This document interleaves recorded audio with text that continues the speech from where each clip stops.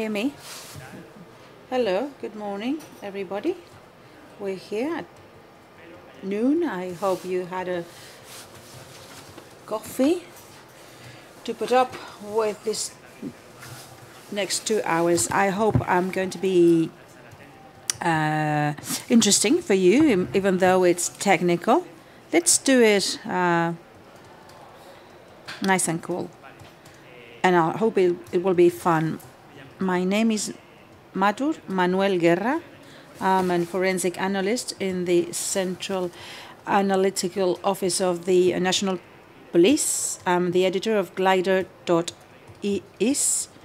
So when I have ideas for articles and I have time, I publish uh, these uh, glider articles. I have a, a, a bit of a cold and my voice is not really okay. I'm going to talk about forensic analysis in WhatsApp. Why WhatsApp? Why not Telegram or Facebook, Facebook chat, or other messenger applications? Well, WhatsApp today in Spain and in Europe is the messaging application which is the most used in the whole of Europe and in many countries. So it's the messaging uh, application that is the most used. So that's where we have to make more efforts to know and to learn how it works in order to have evidence that can be valid in a trial. If WhatsApp if is the most uh, popular application, it's the application that uh, is used by the most, the highest number of criminals. It's basic, so we have to make more efforts to have um, crime evidence out of the application in a correct way. That's the basic motivation of choosing WhatsApp and not and not other applications. Another uh, motivation is more personal. Apart from what I just said, uh, WhatsApp has a handicap. It's one of the applications that is updated, uh, more updated in a in a periodic way. Other uh, messenger applications are not updated that often. Whereas WhatsApp, in three to four months, we can have three, four, even five critical updates. What is a critical update? It's uh, this update is going to modify the form uh, in which we use WhatsApp. I'm not talking about a user, but about a forensic so users are okay, but at forensic level, there are mm, radical changes, and we have to change uh, totally in the way in which we interpret a, a, an image, uh, a text. It's another motivation. We have to be updated, 100% updated. I'm not going to explain how WhatsApp works and, and then you can forget about it. No, it's not the case because in three months this is going to change again and we have to refine and to be updated with WhatsApp. We cannot start building the house uh, starting by the, the ceiling. So what is the first thing we have to do with an electronic uh, digital evidence? If you were with me on Thursday, you can imagine what could happen. But if you were not not there, what is the first thing we have to do with uh, digital or electronic evidence? Give me ideas what's the first thing to do? To preserve it, preserve the evidence, to preserve its integrity. What does it mean if uh, today, I don't have the phone, if we um, we get this phone and it has a specific information inside, the day uh, this information gets to the court, it has to be the same evidence. We cannot manipulate or alter that information it, it says JJA, this is the database. The day we go to trial, that uh, database should be called JJA, the same. We have to guarantee the integrity of the evidence. It's our job, basically. But what happens? Digital evidence, especially in mobile phones, these are very volatile evidence, more than the uh, DNA or our blood oh, we believe that this is uh, very solid. No, it's volatile. Not just about the place where they're stored, or in RAM memory or hard drive, because of the shape and form in which they're stored. For instance, See, if today I take uh, this telephone and I put it in a, a sealed uh, bag, if the, the phone is switched on with a data connection in a remote way, a user or another person can be connected to the Gmail account and say that this has, the phone has been stolen. And then all the evidence in the device is going to be removed. So we cannot get information in, from inside of this uh, device anymore. The uh, scientific policemen that go to this uh, crime scene and they take an, uh, the DNA or the, the blood uh, evidence.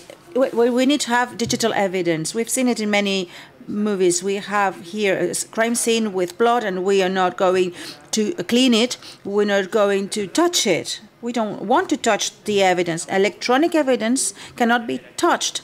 We can't have um, a mobile connected to the internet and start using it. We, we're to seeing seeing uh, what are the uh, conversations he's had, and I'm not going to use the um, criminal's phone.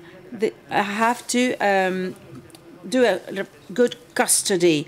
And these are ele uh, life elements that are switched on, and we need to operate them in a different way than the, the, the way we use a hard drive. This, if this is on, it's carrying out carrying out processes of if we can we can switch it off.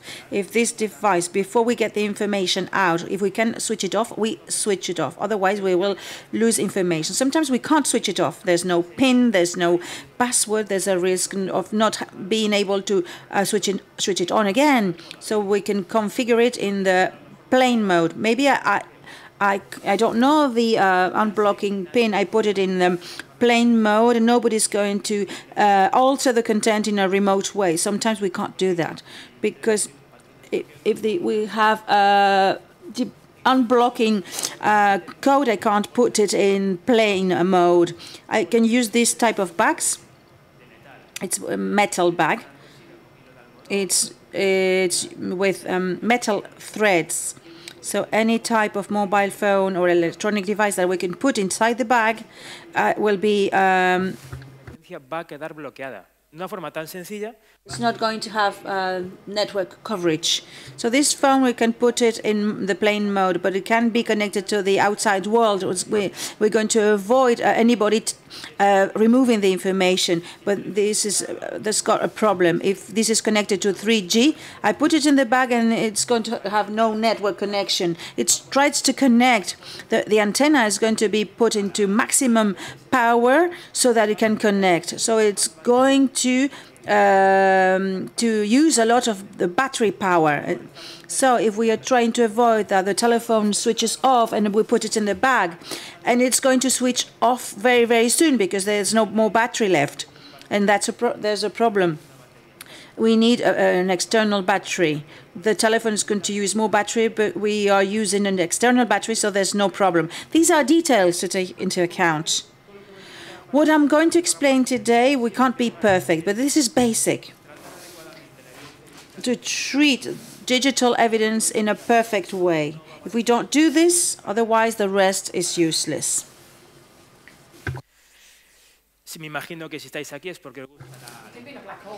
So, what is um, forensics? Uh, IT, application of scientific and analytical techniques specialized to technology infrastructures that allow to identify, preserve, analyze, and present data that are valid within a trial. What is forensic uh, IT? Forensic IT is to get information out of an electronic device in, the, in an adequate way, in an appropriate way. We need to manipulate this evidence it's surprising to manipulate evidence. Oh my God. I'd like to explain this with a more traditional metaphor. A dead person, uh, we need to uh, do an autopsy. So the forensic um, doctor has to manipulate uh, the cadaver with incisions, with a scalpel, and see what's the state of the dead organs, if they're affected or not to determine the reason of the of the death. Cutting the tissue of a dead person it means that you're manipulating the body of that person, okay? But it's the only way to open the body and to know how's the inside of the human being. There's no other way. It's true that several years ago, there was a theory. A digital evidence cannot be altered in any way. We cannot touch it. We cannot interact it. We cannot manipulate it. We cannot get the information out, but you can never do that. In the, now we have all types of um, devices, and we have to change this idea. We have to uh, manipulate or handle. It doesn't mean tampering handling or manipulating or touching it means to do scientific processes, but it doesn't mean tampering. And this should be um, a fundamental, essential processes and the, a less invasive way, always with the good tools. Nobody would imagine that uh, a forensic mm, doctor will use. Uh, A chainsaw for the autopsy. So you need to choose the best tool, and everything has to be written down. If I have to get the mobile phone to get the information out, I have to write. You're going to root a mobile phone. You're man manipulating the evidence. Yes, I'm manipulating the evidence. Uh, I'm contaminating it and I'm rooting it because it's the only method that exists today to get the information out of this mobile phone. But I have to write it down. Sometimes we have to manipulate uh, the evidence, but never tamper and never contaminate the evidence. So I've explained how it works. Let's start. WhatsApp. A forensic analysis to WhatsApp. I'm going to explain what I'm going to do. At the end, we'll have 10 minutes for questions. You can ask any question. Well, you can take notes, and at the end we can have time for Q&A. I'm going to talk about I know. Maybe you have another viewpoint, so we can uh, debate and discuss about this. Let's start. Uh, how, what's the how how a, a smartphone works? I'm talking talking about Android because it's the system and I know mm, better, and I can explain about it. On your left, the Android uh, battery, the pile. On top, the applications layer, was WhatsApp, Facebook, Tinder, and all these applications that we use every day. Well, yes, you're laughing because I mentioned Tinder. Then we have the oper op operating system, Windows 10, Windows 7. That's the layer for the application framework. Then we have the libraries, uh, sorry, the firmware, the assembler, and the hardware. It's the physical uh, device, the hardware. In the various uh, layers, well, you see the operating system uh, layer, Linux, etc. You know that Android is a Linux. Oh, wow. I didn't know. If I don't, I've never used Linux. What's your what's your telephone? An Android? Well, you are using Linux. It's a bit strange. It's a little it's difficult to understand how and how the structure of mobile phone is made. But it's a, um, there's an easier way of understanding. We have the applications layer, the magic layer, and my uh, hardware, my uh, device. We can apply this definition, which is e easier to understand. The magic layer, all that you can imagine that can be done is done. It's magic, and everything's going to work perfectly well. And many people think that mobile phones work because of magic. You can do anything you want.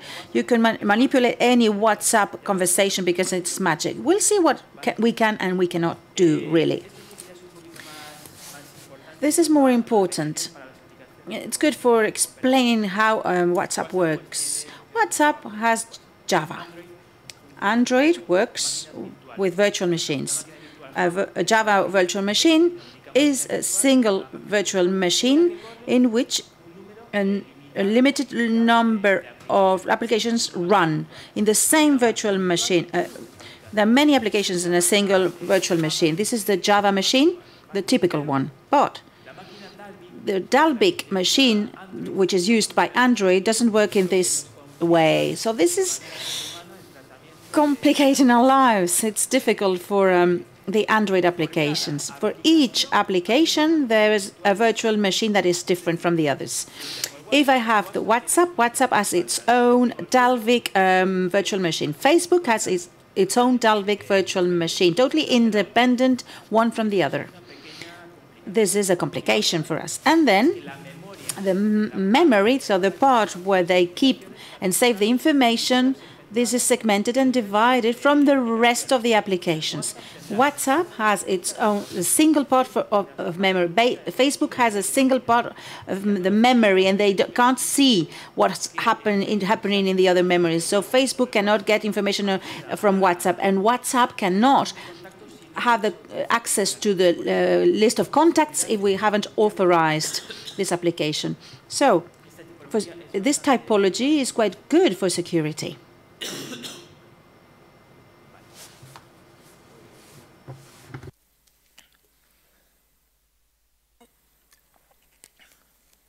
Vale. Después tenemos otro problema. we have an additional problem. The property management per user. Each application has its own independent user.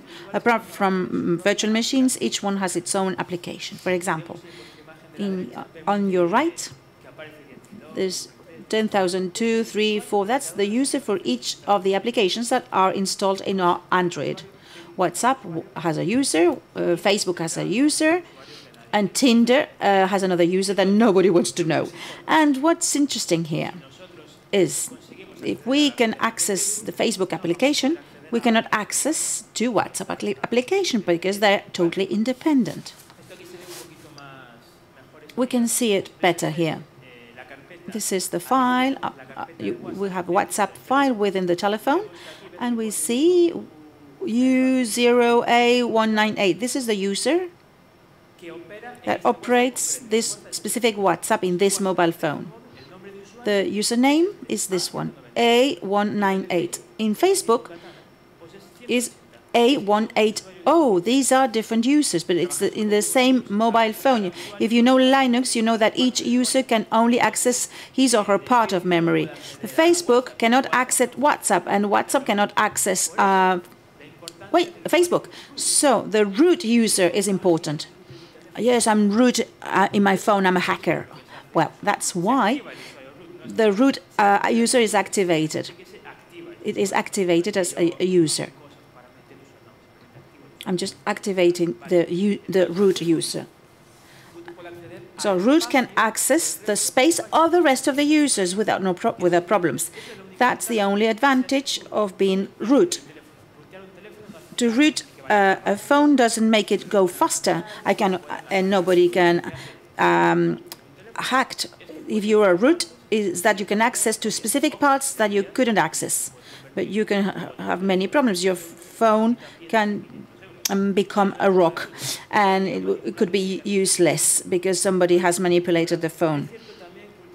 Lately, we can't find so many rooted um, phones. People thought that was a good, very good thing to root the phones, but now the normal users don't root any, the uh, mobile phones anymore because they don't want to lose it. There are Chinese uh, phones that are already rooted by default. But root means to access to any system user. It's the only thing that we can do with that. If the phone is not rooted, then it's the, our task for forensic analysis is going to get more complicated. Uh, interest um, directories. You're taking photos, but it's okay. This is a public talk. I will uh, disseminate it. This is public.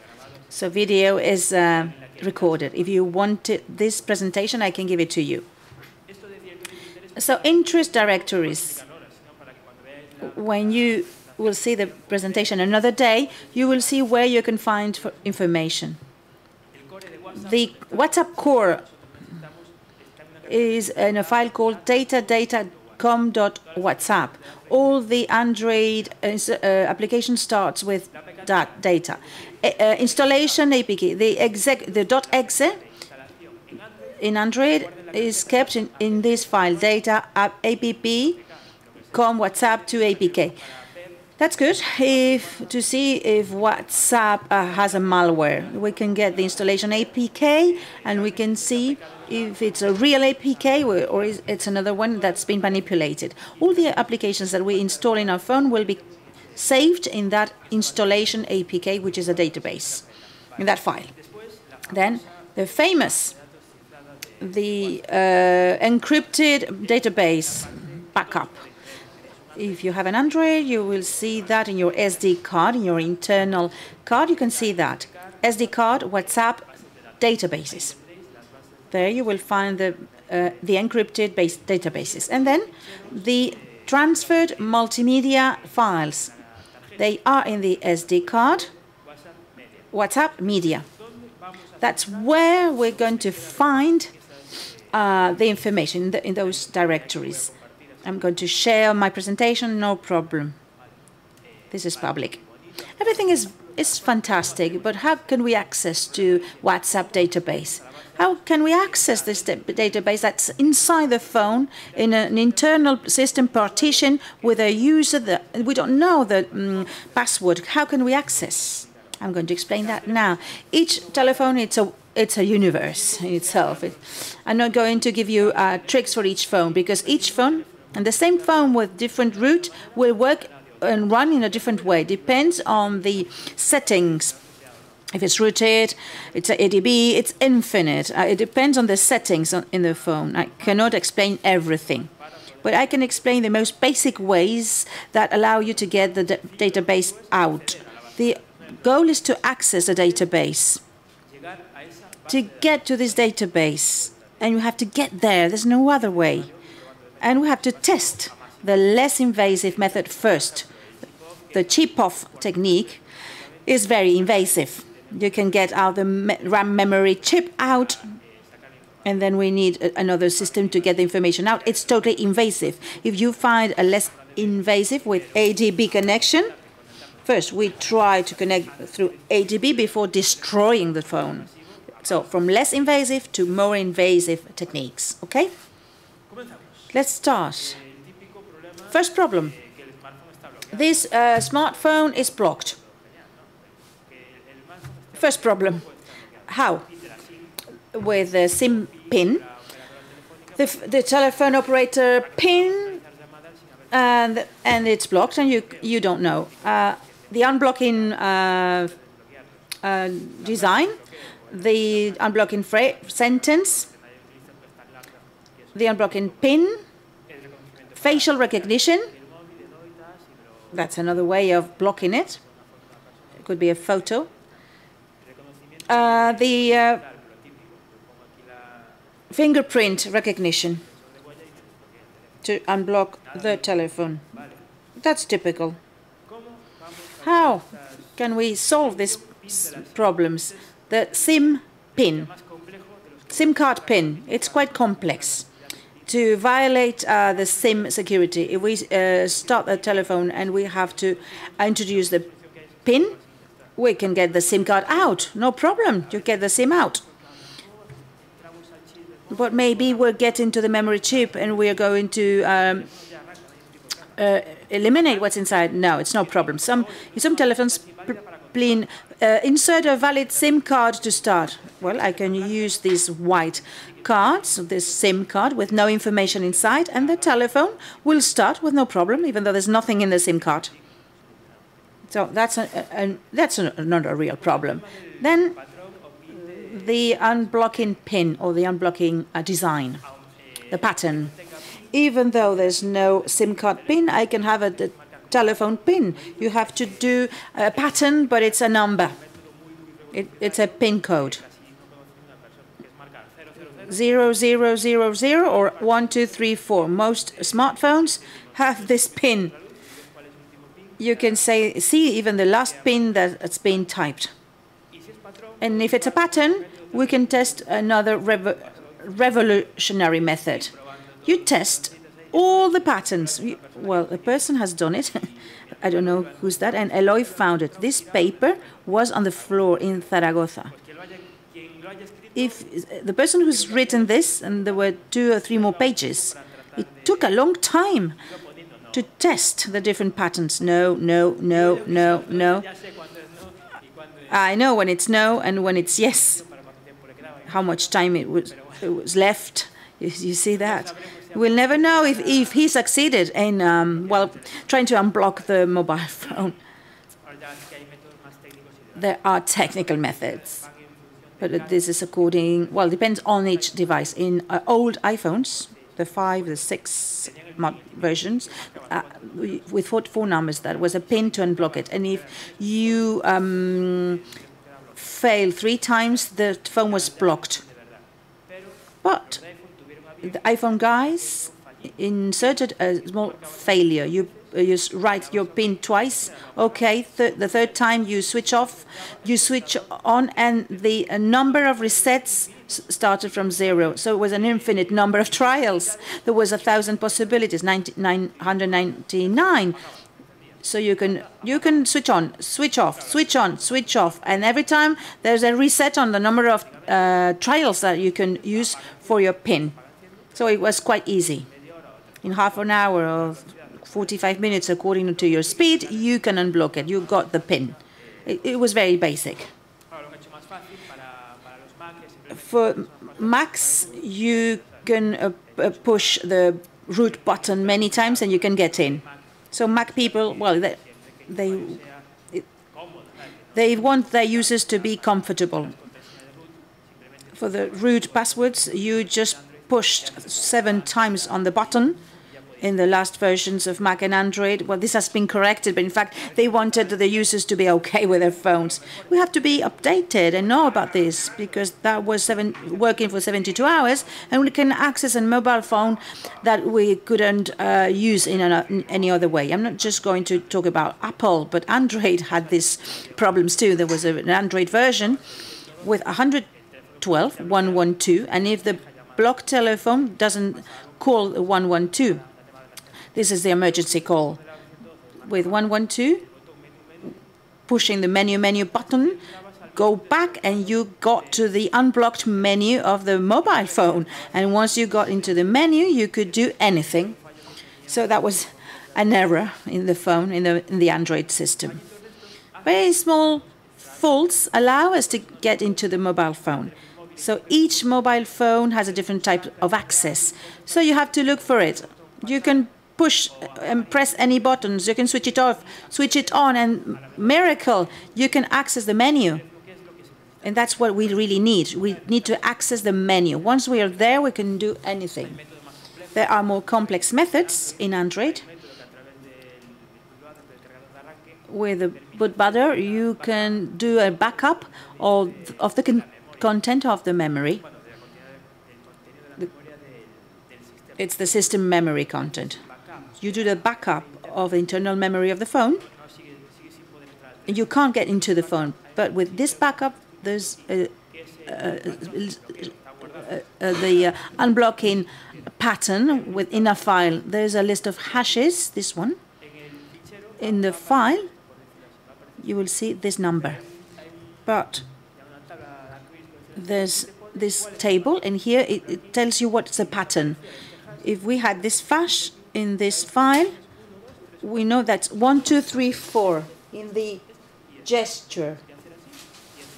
You have to do this gesture. And you just have to switch it on like with this Android backup. In the, it doesn't work in all telephones, of course, very specific Androids. But it, well, this is a trick, and that's good for your job. One word of warning. This is very important. The aim of this workshop is not to teach you how to unblock, unblock mobile phones. The idea is to carry out a forensic analysis of WhatsApp, the way you unblock your mobile phone, you do it as you want. And all the information that I'm going to tell you from now onwards is information that I've actually achieved just by tinkering at home. It's not information that I've taken from any corporation. It's not reserved information. Anybody can find it. You can, if you spend a lot of time analyzing database or phones. I don't want anybody to think that I am going to tell you something that's reserved to my work. You could discover this uh, information if you spend enough time doing this. Of course, if you're going to extract from a mobile phone, the owner and user of the smartphone has authorized it. I'm saying user it because it's not the same as being the owner of a phone and a user of the information. The user is the person that owns its content. The owner is the person that bought it. So, you know, if I buy a phone for my wife, then she's the user. The user owns the information, even though I can be the owner of the phone. That's very important. Or otherwise, some kind of legal authorization. It's only a judge that can authorize you to get an inf information from a telephone, a judge or a user. Otherwise, you could be committing a crime, a crime of secret revealing secrets. Anyway, how do we connect to the mobile phone? Well, you have to extract the information from the phone. What, attack. When I say attack, I mean uh, connect and remove. I'm not talking about violate. How can we get information from our mobile phone? Well, first, you go to typical ADB. If nobody's, if you've not used ADB, in your Android, you go into settings.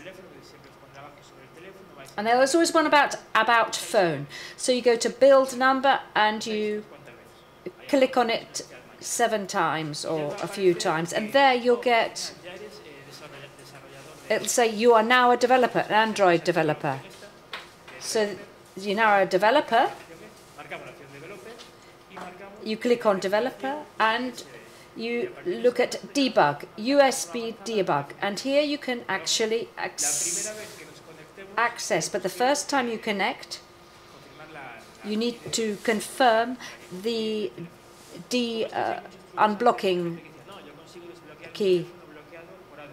Some people say that they've unblocked a key.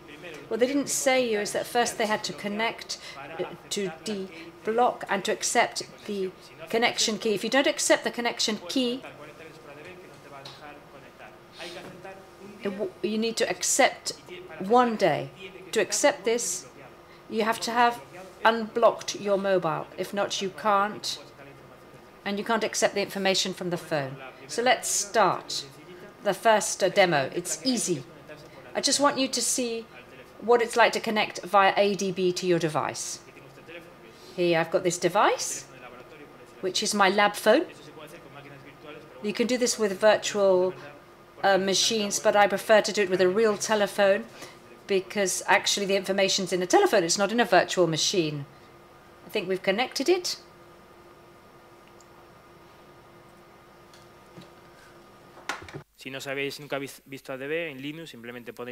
If you've never seen ADB, here it is.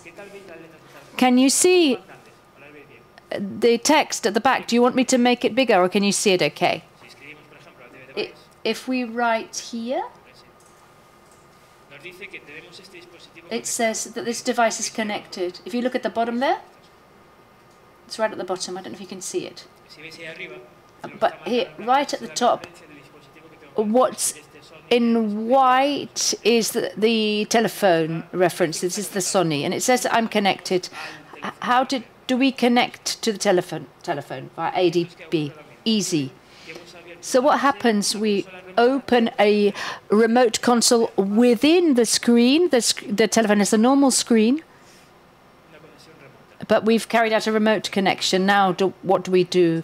We can browse. I'm going to do this quickly because you've probably all seen this. So we can go to CD. That means change directory make a list of everything that is, CD of SIM, which is where I've got photos, see where the photos are in Android.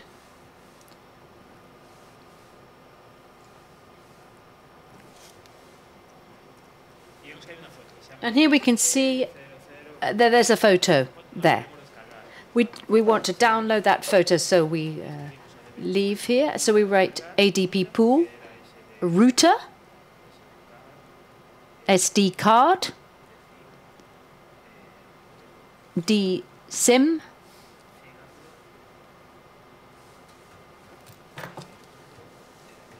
SIM Andro RD SIM, DSC 00. 0001 point JPEG. We copy to root JPEG. Well, there it is. It's downloading. There you can see it. And it's downloaded the uh, photo to the machine that I've got here. There it is. It's a photo of my workstation. So I've just downloaded it from the phone via ADB. So instead of downloading a photo, let's download the WhatsApp conversation. Why not? We go to CD data, then CD data again. You put ls, and then it says denied. Why? Why can we not do that? Because we're not root in the phone.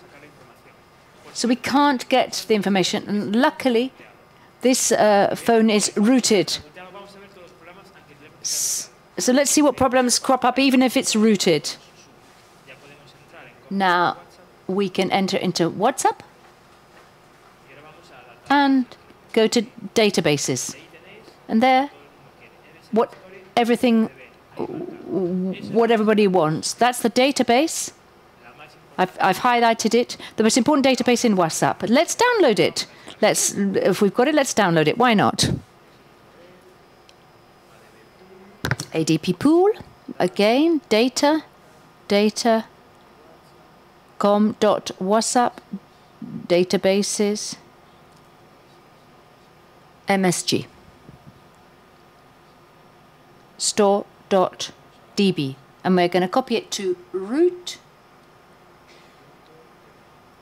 dot db. Uh, it tells us no, we don't have per the permit to copy it. If you look into internet, there are manuals that say yes, you can do this remotely. So what you see in internet, they do it in lab environments, and they see that's a rooted mobile. So we've got the database there. Uh, we can play around with it, but we can't extract it. So maybe we can just copy it. Let's create a DB shell. We go to the database again. Dot WhatsApp.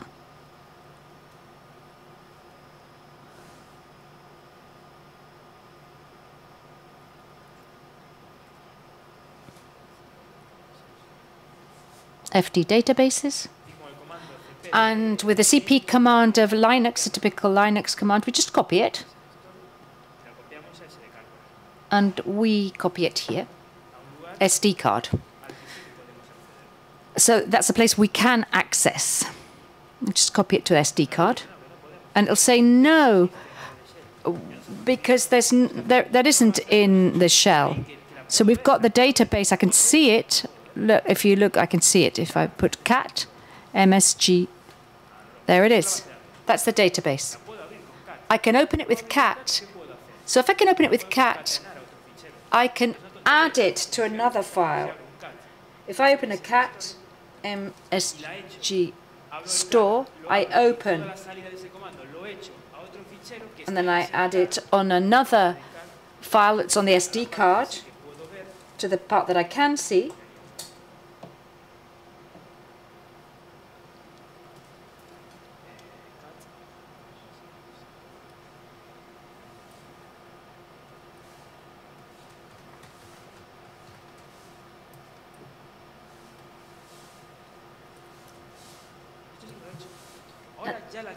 And there it is. It's now joined. I've stringed it.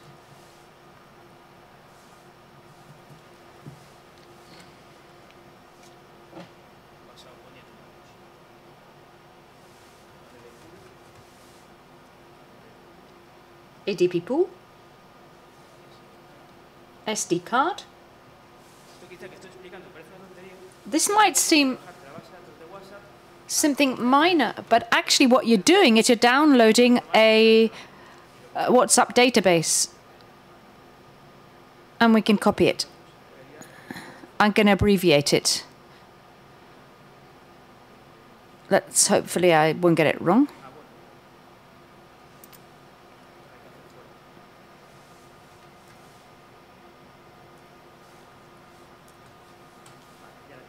Okay, I copied it now. aquí tengo la base de datos And here I've got de WhatsApp sacada a database from WhatsApp that I've uh, obtained via ADB. que está muy chulo hay cosas que no nos deja hacer And but just goes to show that there's some things that you can't do, but you can open it quite easily. Look, there it is. That's just to explain the basics to you. otra forma es hacer Another way you can do it is via a manager. el root en un teléfono hay una appli- un gestor de You can get a file manager, de ficheros que a, a file explorer, which allows you to copy and paste. si normalmente los teléfonos root lo tienen instalados If you've got a root browser, valoraremos si lo instalamos if you haven't got it installed, you can install it. en ADB vamos a la carpeta con WhatsApp que You go to the file with WhatsApp, and I've marked it here. There it is. I copy it, es decir copiamos la carpeta entera de copy the whole WhatsApp file, and we paste it on the SD card. We, and that's it. End of story. You don't need a console. You don't. You don't need to move a hair. But there is another way, another weird way of things. Why can't we get the MSG store from the database? Because I don't know the user's password, and I can't en esa, en esa base no la puedo descargar a través de ADB uh, download it through ADB. But what I can do is change the file password. For if I go into, once again, I can do su.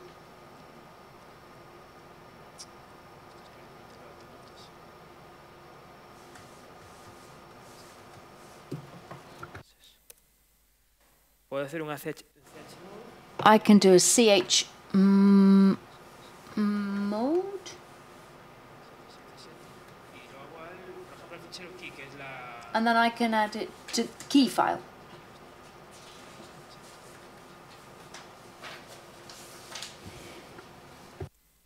Ls ls menos l vale si vamos aquí a la mensaje store vale si os fijáis aquí ¿qué he hecho? Can you see it, what I've done? Sorry, I've lost the pointer. What's happened here? If you look, all the other files that are in the WhatsApp are ones that only the owners can get in. These are the permits of the different files. But this one here, look at all of this.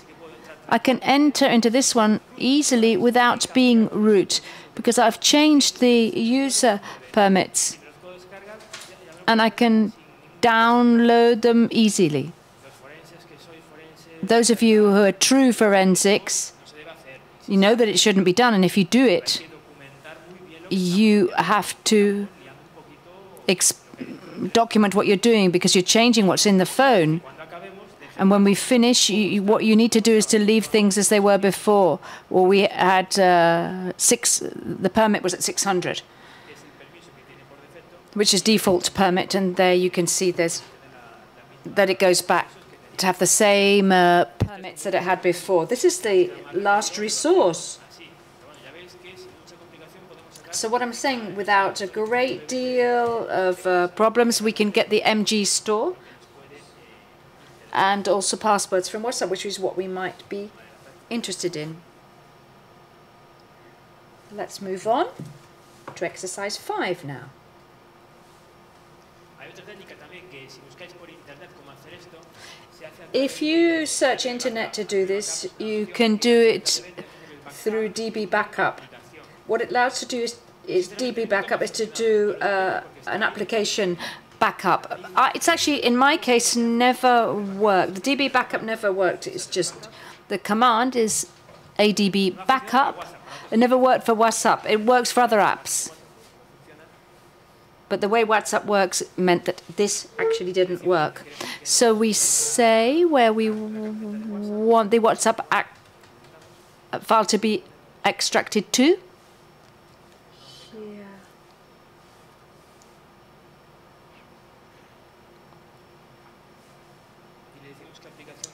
we need to say which application we want to be extracted, and it'll tell.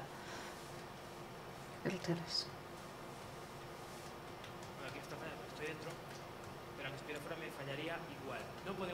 It's not working. It doesn't let me extract the database from WhatsApp in this way. And I'm saying that because there are other applications that you can do that. But we can do it uh, in a different way and we can easily manipulate the database. And there's another uh, fashionable thing, which is to download the WhatsApp version, the 4.11, 431, it's allowed you to downgrade your WhatsApp. For example, I've got the 4 in my mobile, and it doesn't allow me to extract database, but I can I can fool the telephone and say that I'm going to upgrade my WhatsApp, but actually what I do is downgrade it. It's a, an oldish version, and this one allows you to create a database backup. It's only in this version. So what we do is say, oh, update WhatsApp. We, what we do is we then change it and put this old uh, WhatsApp version, which is a old version, but it's signed WhatsApp. So nobody's going to say to us it's not signed. No, it's a real WhatsApp version. So that will allow us to extract. I normally do this in Linux with a series of commands and that's it. But with this telephone, it doesn't work with uh, Linux. I have to do it with Windows, with PowerShell. I don't have a virtual machine with PowerShell here, but it's easy. You can do it with a script, with a GitHub, or GitHub, sorry. And we run it in PowerShell, and automatically it downloads the WhatsApp database. There's an article to explain how to do this. This is the video that explains how to do it.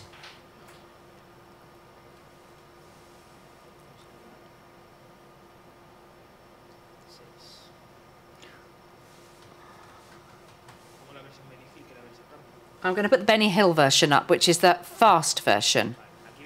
Here you can see the telephone's connected you run the command. All you've got to do is run script via PowerShell. It's doing the backup in case anything goes wrong.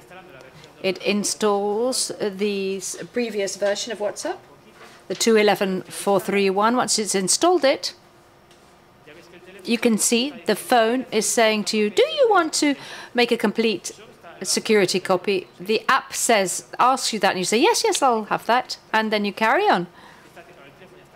So the telephone is just downloading this copy into the computer and it'll open it so that we can see it quite easy without even having to hack it. We can just move it.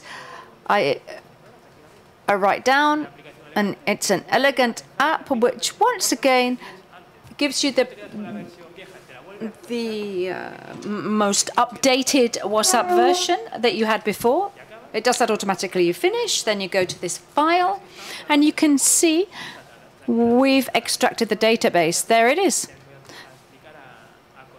And uh, there's more than one database, I'll explain the other one later. And you don't need to be root on, on the telephone. Any telephone that you've got can do. And it, it's just a matter of installing an old WhatsApp version If you want to know where to find this old version of WhatsApp, the CDN for WhatsApp gives you all the versions of WhatsApp that it exists so far, and you can download them. But in Android 7 Nougat, this doesn't work. I don't know why, but it doesn't work. And if the WhatsApp application is installed from the factory, so you you can buy a phone that's already got a, already got a WhatsApp installed. When you, if it's already got WhatsApp installed in, it won't work.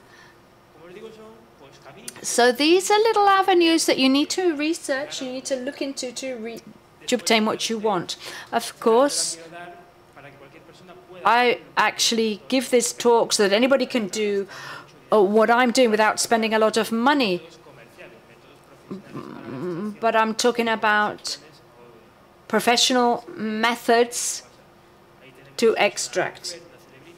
This is an UFED Actually, what this is is a a recorder, a mobile phone recorder, and what it'll do is it extract everything from a mobile phone that you ask it to.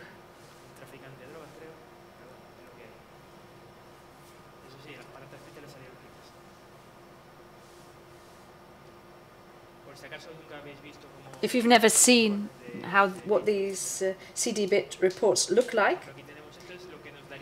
this is what the machine gives us. When we connect the telephone to this kind of a machine, that's what the machine shows you.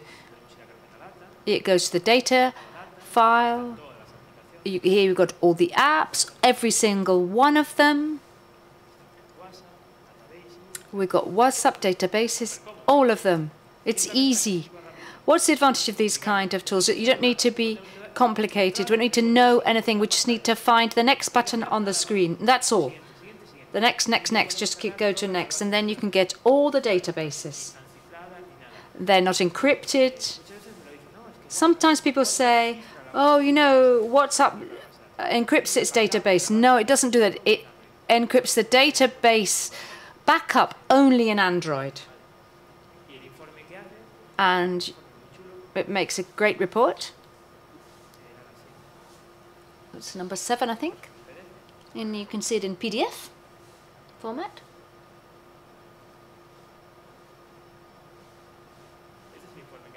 That's the report that this device gives you. It's a report that any other tool could give you. It's just so that you know that it exists and it's there. The idea wasn't to talk about commercial software at all. So, now that we've extracted the files, or at least we know how, more or less, to extract them. Let's look at what's important. The most important file is MG store, MSG store DB. There are others we can look at, but what we want to see uh, is where the conversations are. And the conversations in what's, WhatsApp uh, are stored in SQLite. And they keep that information in an understandable format. And this is how an SQLite works. It's actually sometimes a little bit of, uh, difficult to understand. You've just got a series of numbers and a little bit of information. It's different to, difficult to understand and explain. So let's open it so you can see what it looks like.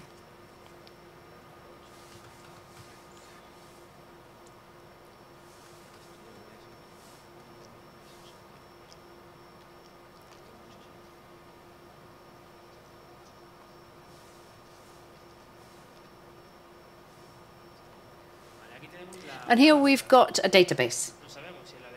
We don't know if it's a WhatsApp one, if it's a database. It doesn't have uh, an add-on even. For example, in Linux, uh, such as in the file command,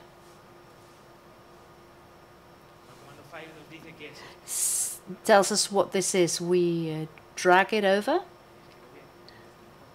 And I'm going to, if I write it, there you go.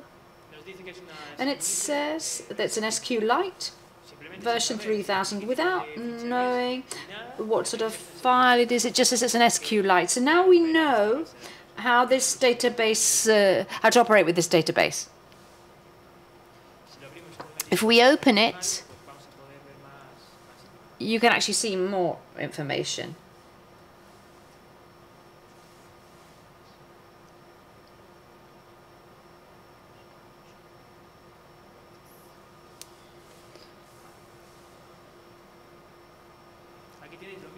And this is the same thing that I explained to you earlier. But it's opened at an SQLite. That's what a database, a WhatsApp database looks like. And when you look at it like that, you think, well, hey, you know, what does that mean?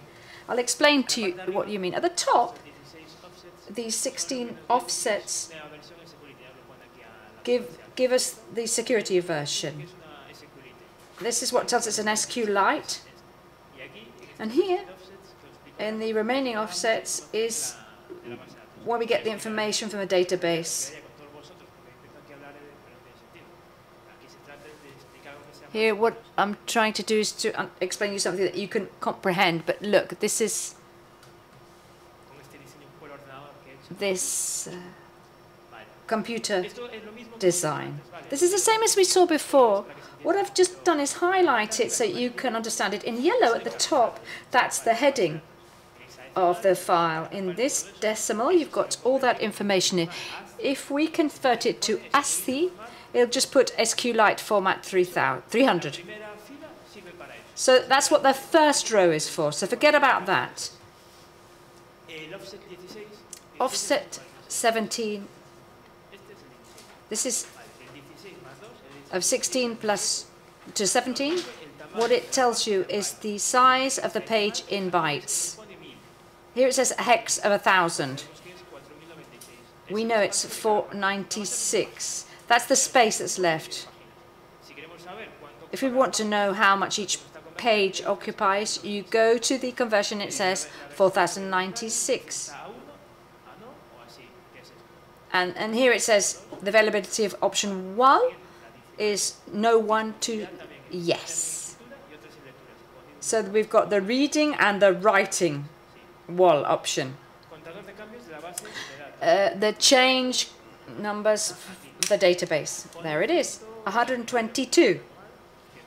122 290 if you put in decimal. What it means, it's the number of times that database has been modified. So if somebody says they've said something when they actually didn't say it, you can actually manipulate the database, the WhatsApp database. But don't forget that the information is kept in many other places. And if we start injecting conversations that didn't exist, and if this data doesn't meet the other data, then we've got the proof that this database has been tampered with.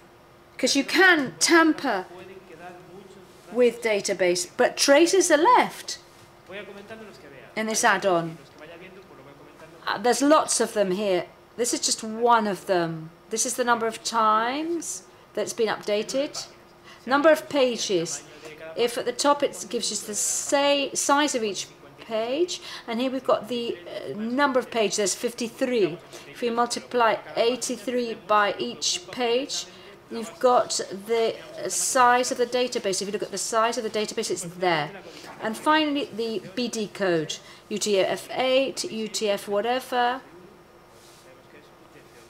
We know that's UTF-8. And the SQLite version.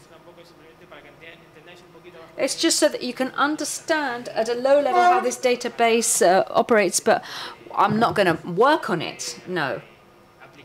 I'm not going to work on these applications. If you want to know more about how database uh, works, there's an article here about SQLite, which explain in just three or four articles how a database works. And this tells you how SQLite works. Okay. Let's start now analyzing the databases and logs that we get in WhatsApp. And we start out with the most important, which is msgstore.db. I'm going to start about the most, talking about the most recent version of WhatsApps. By the way, I've had to change my talk four times because there's been four updates to WhatsApp. And I've had to update this talk so that it's updated to today. I'm going to tell you about now what WhatsApp looks like. Okay, it might not look like this tomorrow if they update it, but let's now look at um, class number nine, class number 10. We open the uh, MGS store database. Let's start cut this database off with msgstore.db. This is the WhatsApp database. Empezamos por, estos son la serie de This is the series of tables in that database. There's a lot. These are tables, places where information is stored in WhatsApp. Let's start with the first one, chat list. Chat list is a copy of the conversations that the person has had. It's on the place where the conversations are saved. But we can find this in the conversation table. If anybody is manipulating on the other side, there is a trace that it, this is the version is not compatible with the other one. Somebody has tampered the database. It's the only sense of uh, having this uh, specific table, the chat list. It's not really interesting. Frequency, frequency. It's interesting. When you use WhatsApp, you have the favorites or your favorite uh, charts or more interesting people for you. This is saved here, this is kept here, and it says the number of messages 21, message count, number of messages that we have exchanged with that person.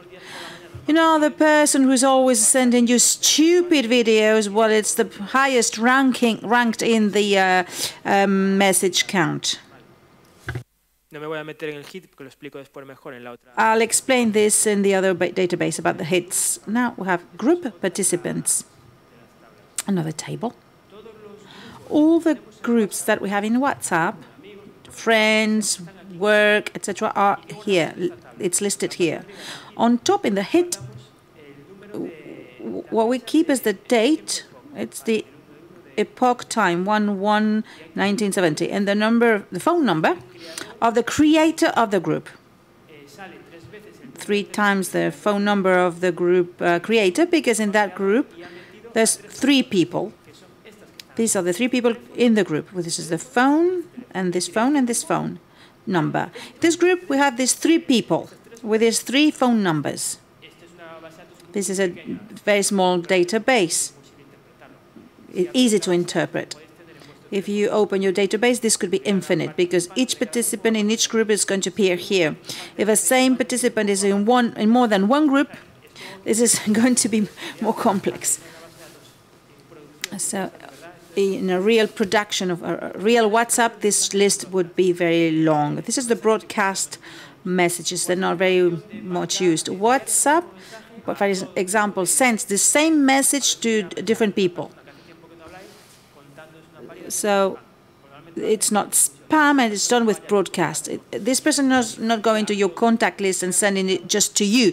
Uh, he sends it to all the, the, the contacts. This is the epoch date and the person to which this has been sent. This device at this date, on this date, has sent in a message to one just a single message to these people, to these two people. Okay. Next is this is most important table of the most important database, the messages table, the MS, MSG store database. Let's start with the first one, ID.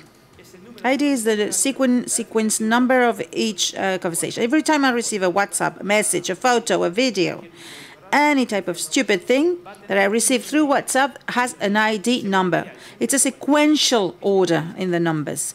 It means that if I want to tamper the database because, oh, I insulted a person, I'm going to uh,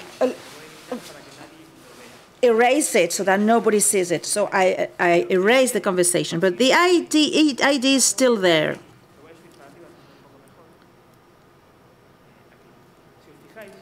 If you see, it, it, the ID is 789 10, 11, 12. There's a conversation that's missing. The 11 is missing. there should be a conversation there. Somebody has erased a conversation out of this WhatsApp group. We know that something has been eliminated because there's an ID missing. So we know there's something happening there. The data, it's where we keep uh, what we've sent. Hello, how are you? What we do tomorrow? All the text that we send through WhatsApp is kept in the data table. Text and URLs that we could have sent. We send a URL through WhatsApp. Everything is kept in this column called data. Here there's no page. But for instance, photo camera, camera, we could have sent a link to an URL that would appear in the data column. Key remote hit. Here we see who is the person with which uh, with whom you are talking to. Jews means group. This is a conversation in a group. What's shown here is group. It's WhatsApp.net. It's a conversation between two, two, two, between two people, not a group. Oh, it's easy. Well, that wasn't easy. I had to find it. You can't reach conclusions with just looking at this. Now you see it's, oh, if it's GG's group, of course. This is not documented, so we had to find it. A phone number and the epoch date. So the time. If you don't know what is the epoch date, it's stupid. Well, it doesn't matter. The seconds that have gone through since the 1st uh, January 1970, 1970. There's a Linux command that, command that tells you the, the time. This conversation was created the 18th of November at 11 uh, 3 minutes in the morning. This number is transformed into a, a date that we know. So that's the date when this message has been sent. Next. Yes, I noted this down.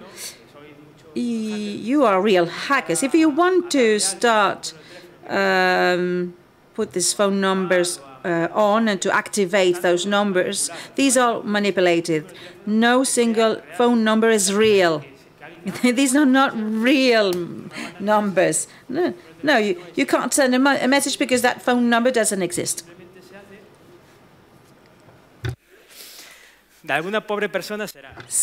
Well, I suppose this is a phone number, but we don't know who's the owner. So the database is cleaned. This is just done with a query against the database. Everything that corresponds to the real number, my number, has to be converted and turned into another number. All the databases are cleaned. So don't start using these phone numbers because they don't exist. So the first time it happens. So before before uh, a catastrophe appears, well, key for me, the key remote hit uh, doesn't tell us if this person has sent the message or if it has received it. The sent and the received message. The key from me, this one, tells us the truth. 001, etc. When this one means that uh, an out, outcoming a message, and zero is an incoming message. So here, one, we have the list, it's outcoming message. The message has been sent to this person. It doesn't say anything, but we'll see why. Here, there's another table, KID, key ID. So we can have an idea of what we are sending. I don't even know what these numbers mean, but I'm not interested. Some of them start with call. Call. So in K, key ID, when it starts with call, it means it's a video call or a, vo a, vo a WhatsApp voice call or with IP uh, voice. If it starts with call, means that this number has received a call from the other number, from the other um, destination phone, phone number. So we know the time. All this information is there, and little by little, we are going to discover what it conceals. And the forensic tools are very expensive, and they don't know how to interpret because they don't know what these numbers mean. So uh, we can't really decipher that. Do We have this other field, status. Status in, is the moment in the message. Double the blue double check, for instance. If it's zero, it's received in the device, just received. If it's four, waiting for the server. You send a message, you have no reception, it's mode four, so waiting for for the uh, coverage. Five, it's uh, it's received in the device, but the user ha hasn't opened it. It's the gray double check. The blue double check is number five, I think, or six. I don't remember. Five or six. That that message is a control message. So we know if the message is uh, has correctly been received in the in the um, uh, phone when the status shows 13. I don't know what 13 means. If you know it, please tell me. These are just checking, check, check, checks that are made in the database. Here we don't know. With this figure, this number, I don't know what it means. The timestamp is the moment in which the moment the message has been sent. Again, this is the epoch format. He sent a message, you can manipulate it, but this you can't manipulate, and we see what's happened really. Then we have media URL. It, it, in fact, we think it, these are uh, uh, send URLs, but it's not the case. When we send a photo, we send a URL to your uh, destination. We, so this is the database. This is the URL pointing to the file in your WhatsApp server. When we send a picture, we upload to WhatsApp server, and, and WhatsApp sends it to another person. So this is the photo you sent. And this is the encryption, and you can download it. Then we have media what type here. Media what type.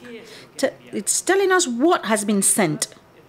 It's quite important. Zero, well, zero here means it's just sent text. Hello, how are you? Or a URL, text. If it's one, one is a picture has been sent. One, a photo, a picture. Photos um, taken with your mobile phone or photos in your gallery. Two is an audio message. Instead of writing, people send uh, audio messages that last for 40 minutes. Three is a video recorded uh, from your camera. And four is the contact card. People are asking for a contact, and you, you go to your agenda and you send a contact. What's the problem? Well, you send the contact, but you don't just send the number. You send the name that you have allocated for, for that person in your agenda. Please don't send the contact of your boss and you have a horrible name for your boss. This person has will see the contact name that you've selected for your boss. So be careful.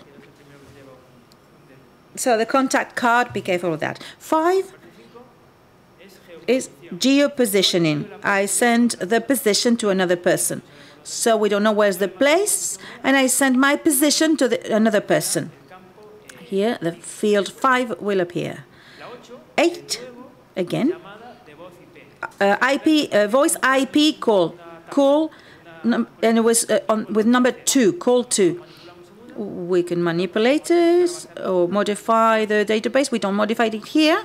We have the proof and the evidence that the uh, database 8 with IP voice call has been modified. And the last number is 16. It's a couple of weeks since it started. We can't interpret. 16 is a new uh, WhatsApp option that allows you to share uh, the location for 15 minutes. For five hours or eight hours. I'm say, sending my location for 15 minutes up to eight hours to the other person. The other person on a map sees how I'm moving around. There's a new functionality. This is not kept as thing five, but as 16. If we see a 16, it means that this person has uh, shared this his or her location with another person. Let's see the time. Media duration. Everything is in English. In English. Uh, so media duration column. The seconds uh, during which the person has shared his or her location. So 16, and then here the number of seconds.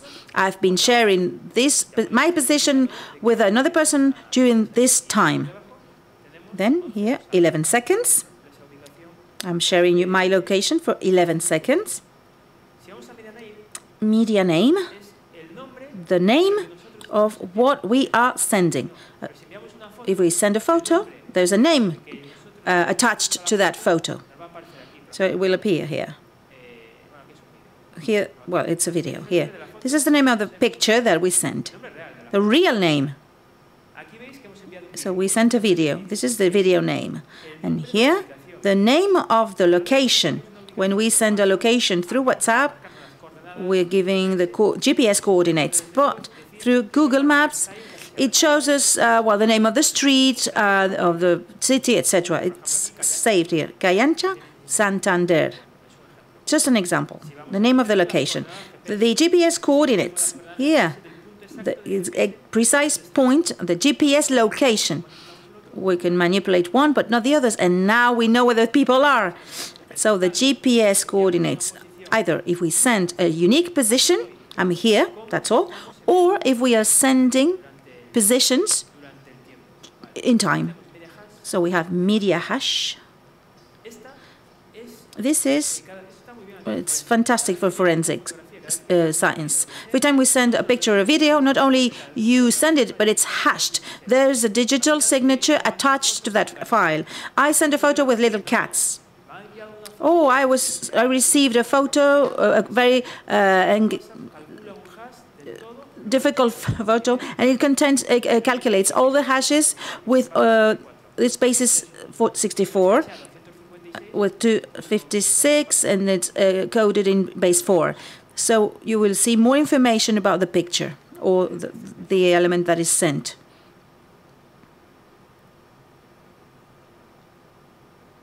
LCP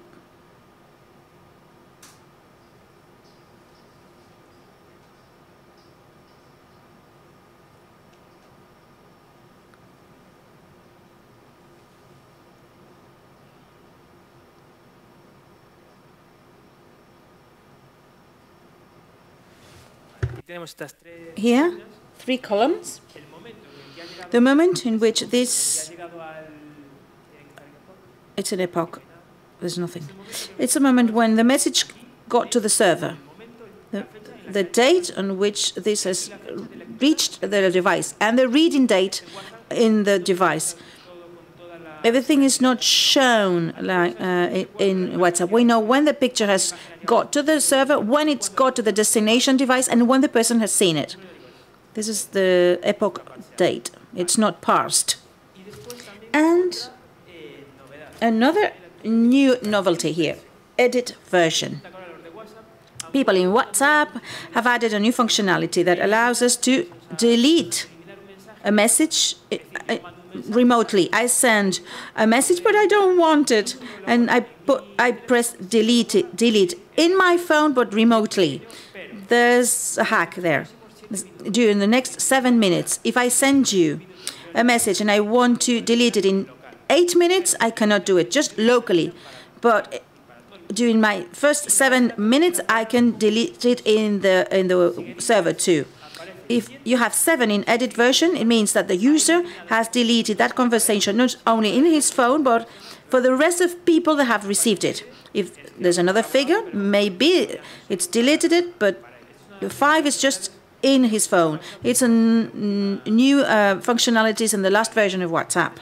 And now, how to recover uh, files that have been deleted in WhatsApp. We want to get these deleted uh, files out of your, the phone. It's parsing what's been deleted. That's the basis to it.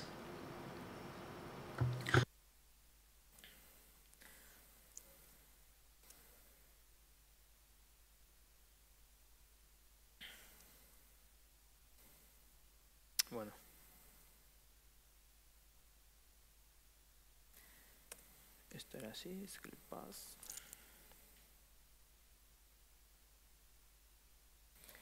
Eh, esta base de datos, que ya la tengo también saneada para que nadie me la líe. Menos O, salida. Y aquí le metemos. Esto es simplemente también otro script. Okay, there's another hip hop script, SQL parse, and uh, you can download it for free, and you can extract uh, deleted uh, content from the database. It's easy. Carving, es esto. Vale. Claro, no lo va a poner en bonito con colorines diciendo, estoy eliminado. Of course, it doesn't say I'm deleted in blue. Well, you have to look for that. Here, Manu. Manu.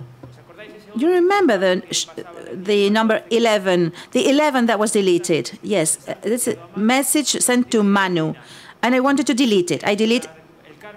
I've done the carving of the database, and this message has been deleted. There are phone numbers and other deleted uh, items.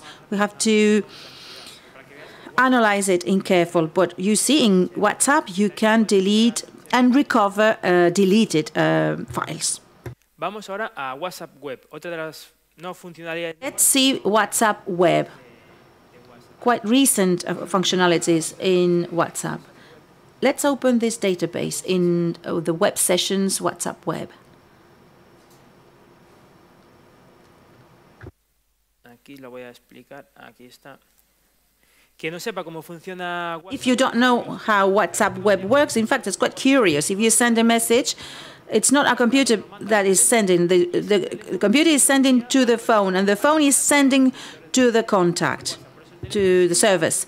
The telephone has always ne- needs reception. If you there's no coverage, your WhatsApp Web is not going to work. We are QR authentication. We have the Windows WhatsApp that is installed. The WhatsApp Windows is like a browser. It's the, the information is kept in uh, user app data. That's not really interesting. Uh, the WhatsApp web uh, database. We have the, all the information. So we have the, the browser ID, identifier. I don't really know what how to obtain it. It's a, a hash base 64. It's an I, unique ID, single ID of the browser that we are using. I don't really know how this is generated, how this specific hash is generated. I suppose it's an X file, but I don't have it. Don't, I didn't identify it. Here we have the OS stable, the operating system. So it's the operating system that the person is using to send the WhatsApp, Windows 7, Linux, or another one.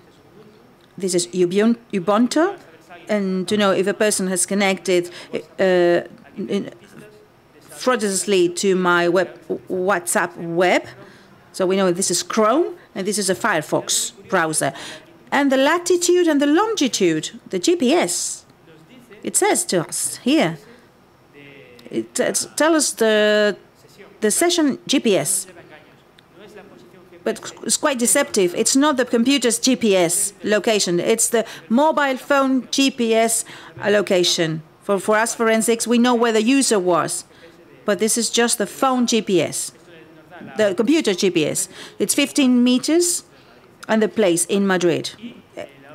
It's, it's the computer GPS location. And the last activities. We know if this message has been sent and when uh, was the last activity. Here, when somebody has closed the session. If you close the WhatsApp web session, so that it can it, it stops functioning. But I left something here. You will go go to mc msgstore.db messages. Here. K and D, key ID, 3B0. Here, these three key ID numbers at the beginning, well, we have three that starts with 3EB0. This is a unique pattern that WhatsApp creates every time you send a message through WhatsApp web. How do I know if a message has been sent through the normal WhatsApp or through the WhatsApp web? We need to look for 3BEB0, uh, this pattern in the database. We know if this message has been sent through WhatsApp web. Imagine the person has disappeared. Uh, she's sending messages insulting the other person. My phone was on, on the table and I never touched it. Well, we know now that the message has been sent through WhatsApp web. But thanks to the other table, we know who or what computer has sent these messages through WhatsApp web. And that's interesting for us. Vamos a la siguiente.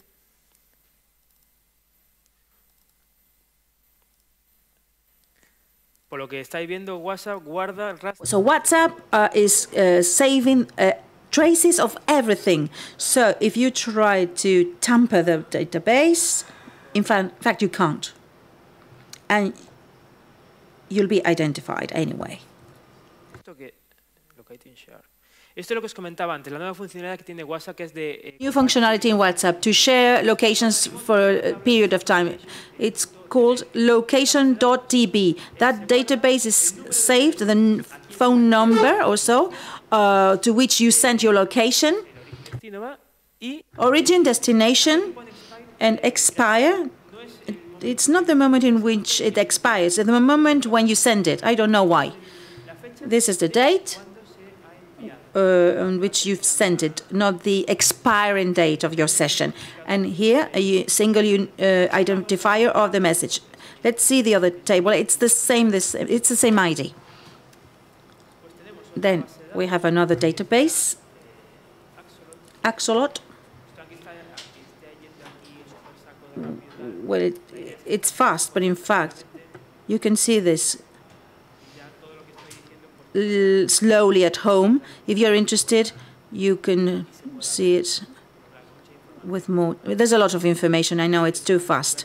I, I like to give you the information. I don't want to keep it for me, but then you will, have access to this presentation. The Axolotl database is the one that manages the point-to-point uh, -point, uh, encryption. It's not plain text, it's point-to-point. -point. This database is managing that. It tells us the, the uh, single ID, the telephone number, uh, the connection of this phone with whom and when. Through the double ratchet, the encryption systems here tell us if anybody has talked with anybody, if anybody, the person has opened a window to speak with someone. Once we have this person, well, there's a, a message given by the WhatsApp certificate. And as soon as this appears, it means that this person has tried to speak with someone. And, this, and we know with whom you've spoken. We don't know what you've said, but at least a person has spoken with a, a, another person. Or at least uh, this person has tried. This is 13. Yes, practice 13. If you really want to know how this uh, point-to-point uh, -point encryption works, not, not how it's kept in your phone, but uh, Raul Siles uh, gave a presentation and explains in depth how this uh, point-to-point -point encryption works in WhatsApp. Raul Siles, that's in communication. This is not the storage part. Another database that I just love it is the emoji, emoji dictionary all the emojis in WhatsApp are kept. It's a fantastic database. The most important, the one we have to extract, emojidictionary.db. That's it. And here we find all the emojis that we have in our WhatsApp. All of them. The emojis are there. So tag is the name of the emoji. Let's look for paella emoji paella. Claro, aquí lo vemos, eh, lo vemos raro esto así. Now, you, you can't really see the picture. This is in symbols. You can't see the paella.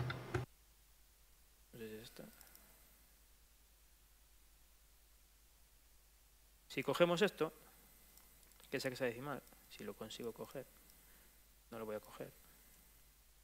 Entonces, eh, axti, eh, axti, oh, error. Aquí, convert. Va pensando. Tengo internet.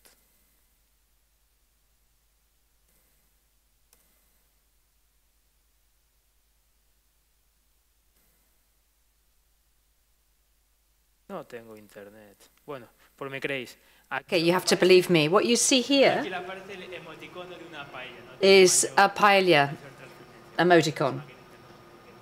Eso, lo podéis hacer la prueba. Si metéis este, metéis Just trial it. If you access it, you can see the paella emoticon. Just believe me. There's another interesting thing about this, the emoji dictionary. Let's look for the burger now. Find your burger.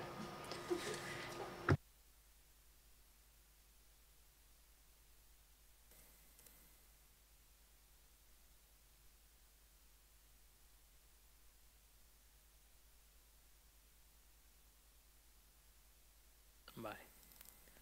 Lo mismo, binario, tal. Si buscamos esto, Okay, let's just have a look at this, and you'll find, if we convert this, you'll see what you get is the a, a burger icon. And you might think, well, why does he want to explain this to me? I don't know if you know it, there's a slight difference between Apple and Android burgers. Apples put the cheese on top of the meat, but Android put the cheese for the burger below the meat, the meat patties. So if you've got an iPhone, this is what you'll find. This burger. What do you want? The cheese on top or the cheese below the burger? I mean, it's stupid, but hey. But if you go now to uh, data, vending, cachet, I think it's this one.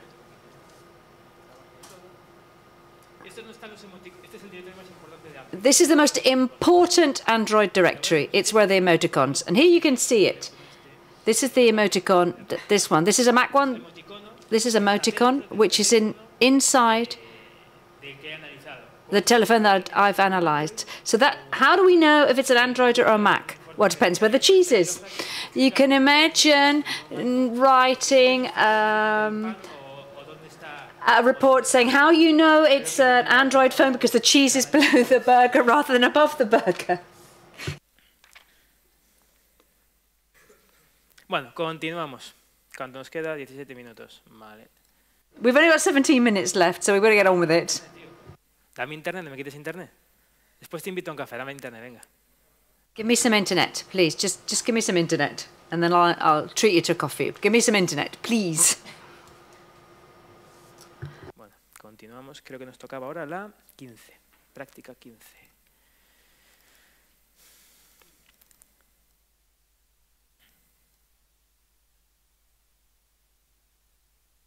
Chat settings, por decirlo así.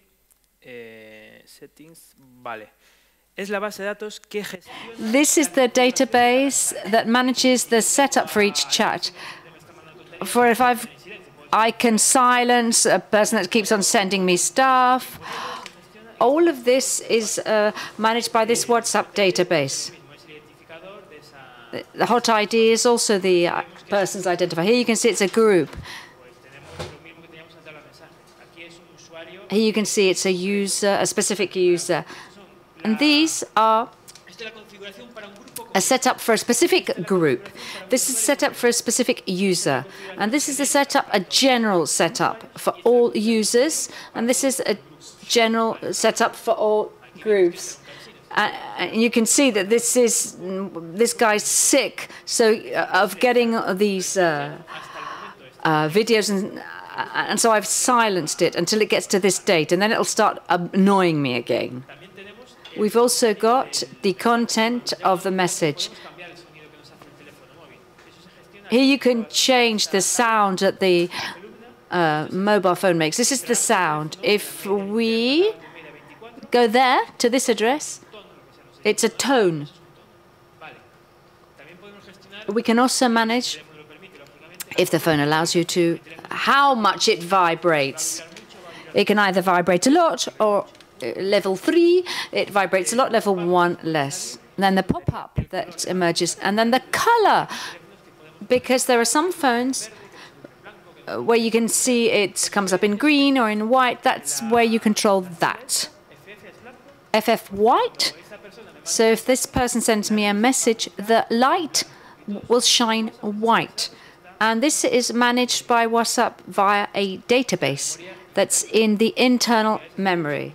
So there's a lot of information there that you can get out from just a simple app. Imagine this multiplied by all the other apps that you have in your mobile phone, together with the information that the operating system has.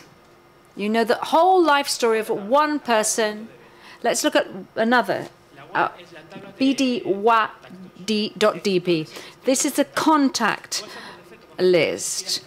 WhatsApp asks access to all your contacts on the phone. That's to see whether the contracts that you've got in your phone have got a WhatsApp uh, installed. So it'll read all the contacts, and if if they've got uh, WhatsApp installed, you can talk to that person with WhatsApp. How you manage that? It's GBD. These are just some of the contacts that I've got in my address book that have got WhatsApp.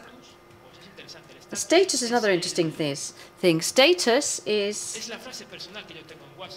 is this the personal sentence I have in WhatsApp. There's people that insult others via status. They harass people's status. And on the status table, you can see it. When you can see, you see when the status is updated, whether they update it every month or uh, they didn't update it for the last three years. The number is the real telephone number, not the WhatsApp telephone number. So I've saved it in my agenda. If I've saved it here, there you can see plus 34, plus 34, and then Movistar information. Okay. Displaying is what I changed before. It's the name that I've saved. For example, I write any old thing here, or an insult, or, or just a, I can share this contact with somebody. They'll, it'll appear as that same old pain in the neck, because that's what I've saved it as, the same old pain in the neck. Is anything else of interest here? Let's move on to number 17.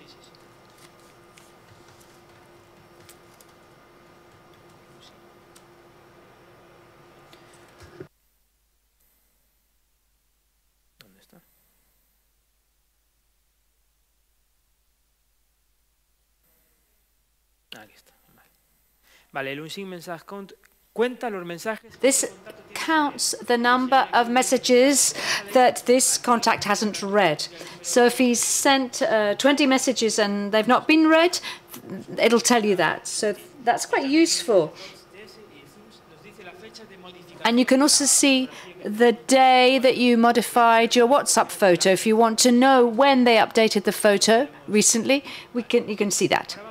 Let's now leave database. And now let's look at WhatsApp directories. I think we're on number 17. Files. Files in the internal memory saves all this information. If we go to avatars, here that it saves all those images of all the users and all the contacts that I have in WhatsApp. And of course mine as well. And all the others all the other contacts that I have in WhatsApp, I've got their photo and their telephone number. Might be a witch. Actually, I don't know what that is. Somebody that kept this um, on WhatsApp. However, it's got all avatars in it. But in just files, we've got me.jpg. This is interesting because it's downloaded from a server. I don't know if you've ever had that when you've installed WhatsApp from scratch. The photo that you had uh, appears again. That's because it's saved in the server. Not the one that's in avatars, but this one. It takes it down from the server so you can see when it was created, when it was installed, etc. And then we've got this other file, which is me. Me saves information such as the phone number that I've linked. Which one is joined?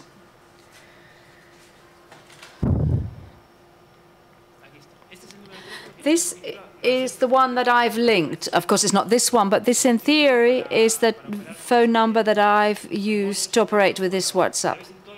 And you can see all the places where you can duplicate and triplicate all these things. Key, the key.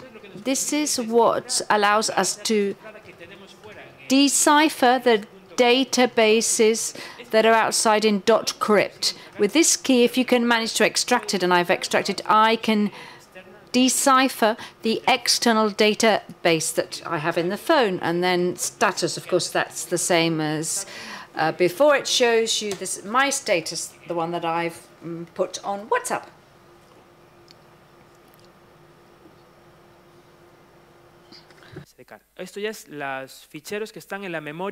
And these are the files that are in the external memory. Anybody can access these external files. You don't need to be root or anything else that I mentioned. What sort of files do we have here? In database, we've got the the nine most recent security copies that I've got. These were updated on 2 a.m. in the morning it actually makes a complete backup and that is encrypted with the key that I showed you before, which is stored in the part that you can get.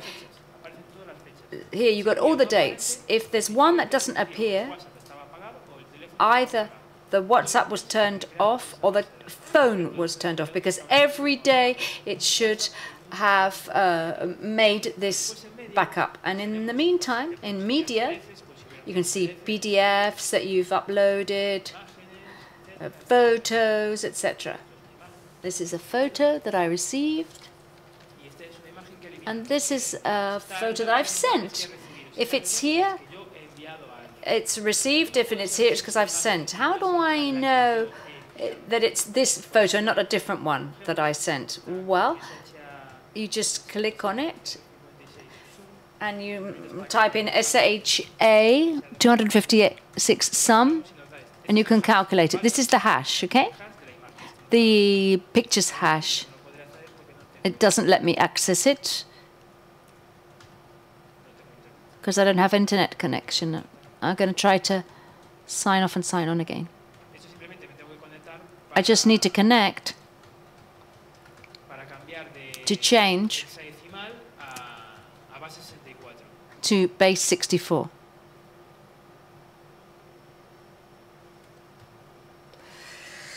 Yo creo que se me ha quedado el pincho cojado y no funciona. A ver.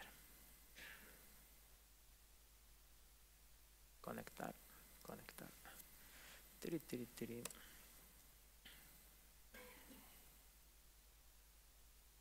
Bueno, si no conecta me creéis y ya... Okay, if not, here we've created a number in base 64. And where is this number in base 64? If we go back to the MSG uh, store, and we look at this table again,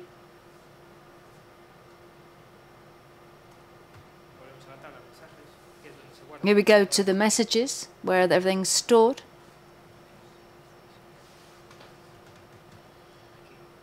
here.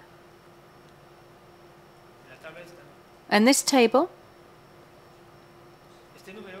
this number, if the hash that hash I took uh, out of converts it to base 64, there it is. There, there, there it is. I take the hash and I convert it. And it gives me the information in base 64. But it doesn't coincide. Why? because I've put it in text. A hash doesn't have zeros, ones, or n or n n. So you can put and you go back to the database.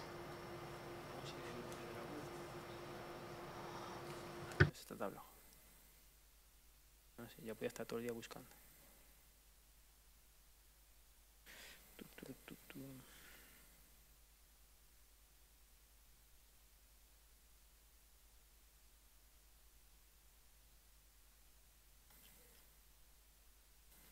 Bueno, después lo busco. Es, eh, aquí hay una tabla, la que comenté antes del hash, que aparece el hash concreto en base 64 de In base 64, you can see the file that I sent. And here we can see this is the file that's on the database and not another one. So here we can see that this is the same file. y siempre es igual, es calcular el 256 You just have to calculate 256 and then put it into base 64. And to finish, our final lesson, which I think is number 19, fichero log de WhatsApp. El fichero log de which is está en files también en internet. The log, log file. The log file has lots of information. It's got, you can see lots of code lines. What I've shown you here in my presentation, I'll explain to you so you've got an idea of what I'm talking about.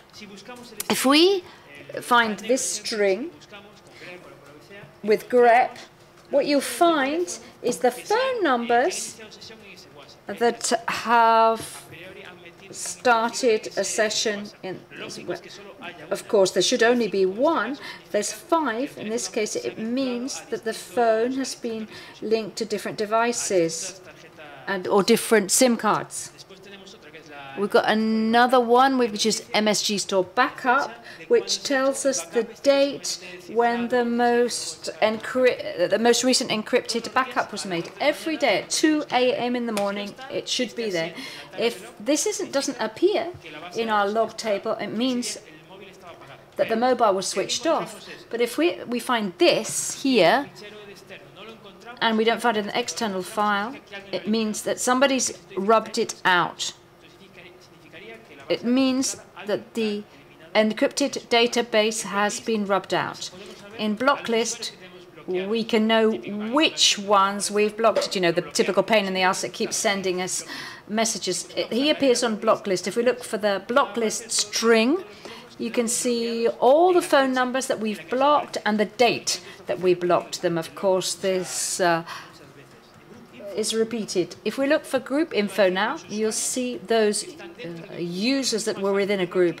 It's easier to see it here than somewhere else because here what you've got the name of the group, the telephone of the administrator and all those people that are in that group.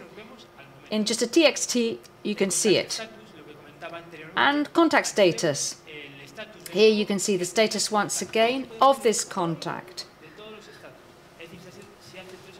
So if three or four months ago they spent time insulting somebody la via contact status, you can see you can see the date and what they wrote. What about Wi-Fi? We can see when the phone was connected to wireless because here you can see the date and the type of uh, wireless connection. So you now know that if the phones are right up in the middle of the mountain, it probably won't be connected to a wireless. But anyway, the same thing. This is it's the same thing for Android, which actually keeps the uh, wireless name and password, the password that was used to link. Mobile, you can get the ISP that we were connected to. For example, I've got Telefonica Movistar on my phone, and here it'll put Telefonica. So I know what network my mobile phone is using at a given moment in time. And then 53. Why 53? 53 is the UDP port, which the DNSs uh, work via. If I uh, search for 53, I can know the domain resolution IP that my telephone has. I, I can see I've been, if I've been attacked, because it's a historical log. Device battery. Here it tells us if the phone was charging or discharging. Here you can see the battery level and how it gradually goes down 64, 52, 43. That means that it's not connected uh, to the charger. And here you can see it's connected one and the battery goes up. Plugged one, you can see that it just is in the WhatsApp log. So the what WhatsApp knows if we're charging, when we plugged it in, when we unplugged it, and when we've plugged it back in again. And just to finish now, alternative access methods. This is the final last resource that you should use to get information about a phone. This is emergency when there's no other way of getting information. For example, when WhatsApp downgrade doesn't uh, work, or there's no possibility of rooting the device, or you need to analyze the database in depth.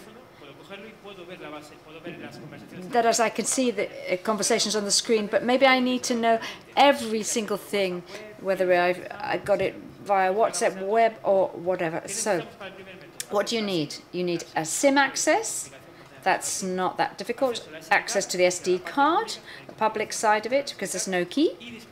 And some kind of other a virtual or physical terminal which is rooted and we go to the lab. So what do we do? We copy the encrypted database from the original mobile phone. We copy it, we stick it in our SD card in our uh, lab mobile. There you can see it. So it's copied. in the external uh, memory in our lab machine. Uh, we can check that there's no other uh, versions of WhatsApp installed, and we install WhatsApp. From zero, from scratch. We install it, we put the telephone we just need to access the card's SMS. There's the phone number. And, and then it says, do you want to restore your security copy? Yes. And then WhatsApp asks the SMS number. It'll get, it'll decipher the database and copy it locally. So we've got it rooted and we can access the internal database. We can copy it and then extract all the information that otherwise we wouldn't have been able to. And this is another method. This is far more reckless than the previous one, but it works. You need to know what you're up to, though, which is to invent a chat, send a chat by email, to print it out. You don't normally send it by email. So how do you do that? WhatsApp has the option of sending chats by email without data. So you can send that and you add it to an email, whatever. Once you've done that, you keep it as a draft. Of course, we're tampering with evidence, but that's the only way we can do it. We go to draft, and we can open it open it with an HTML viewer. So we open it, and that's what it shows us. We can read it, and we can copy it. So we select all, copy it, and paste it where we do have access. It's not easy, but if you're a forensic here's a camera that you can record the mobile. Would you rather have a 15 minute um, video or somebody actually downloading videos? That's the best way of using forensic software. And finally, everything that we've done, all the information, needs to be signed digitally. How do you do that? You create a hash you can calculate and then you can package it up and you compress the hash of this. The only thing you need to do is to always have to sign evidence, digitally sign evidence. So you can't tamper with the information that you extract. And with everything that I've explained to you, you can actually get information from WhatsApp. And what do you know what the best thing about this talk is? That possibly tomorrow, what I've told you probably will be useless because they'll have changed everything that I've done. But anyway, I hope not. So remember, it's not uh, a matter of doing it today and forgetting it tomorrow. You have to be on the ball day after day. You have to want to find out how things uh, work and you have to be motivated.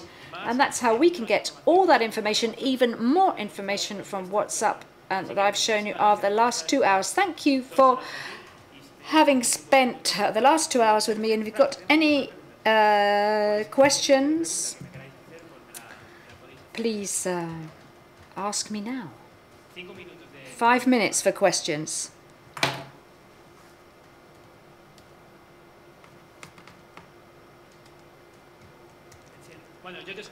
I can hear you, but maybe at the back they can't.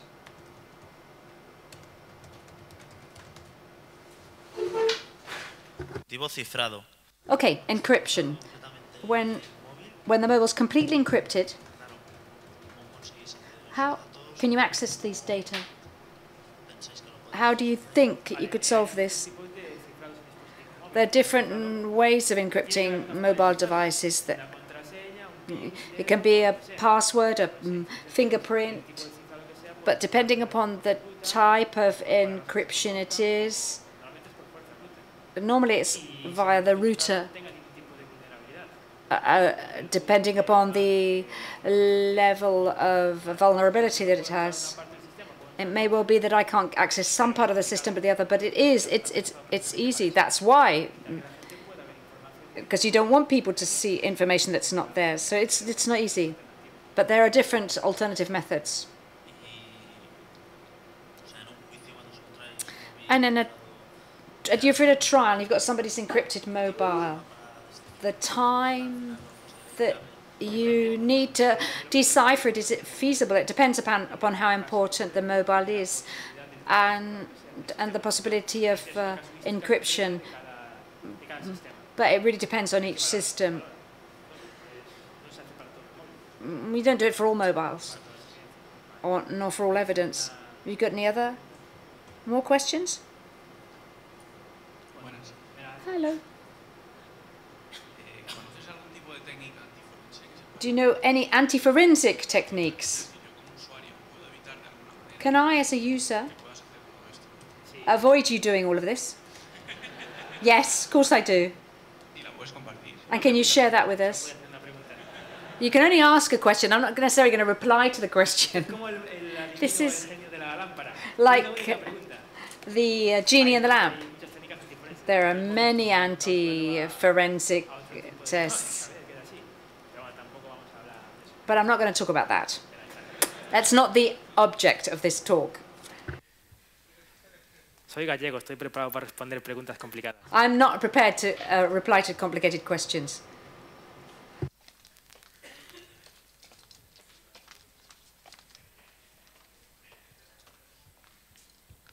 Hola, mi nombre es Eduard. My name's Eduard. I wanted to ask, in when we looked at the message tablet, there was a message ID and you strung them to each other, you joined them to each other. So you said that in a real case, the database can be very big.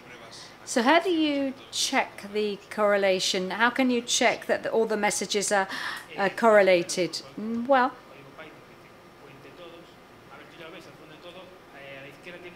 to the left, you'll see the row line and if you see it's row 40 and the ID is on 30, you know that you've got 10 left.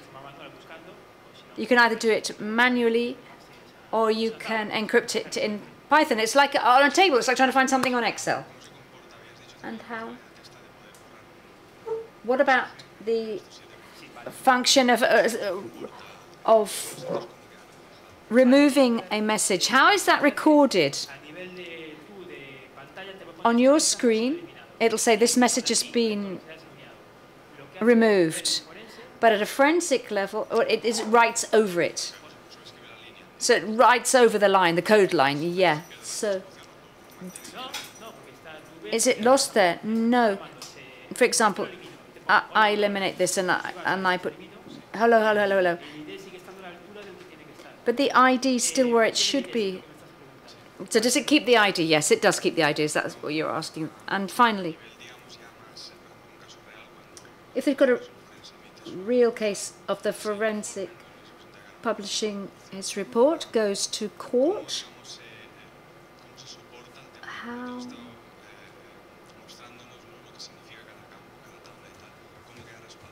how how's it all backed up with all I mean how does the judge interpret the data that you offer is there any kind of uh, official documents? No. No. It's based on the evidence that the, the proof. So if you can debate with me that it's not you you're going to have to tell me that it's not that's not true. It's a bit visceral, but you have to do lots of um, drawings and colors and things. Thank you. Any further questions? My goodness, there's six questions out there. Okay, off you go. Is there any way of knowing how the whether the user conversations are complete?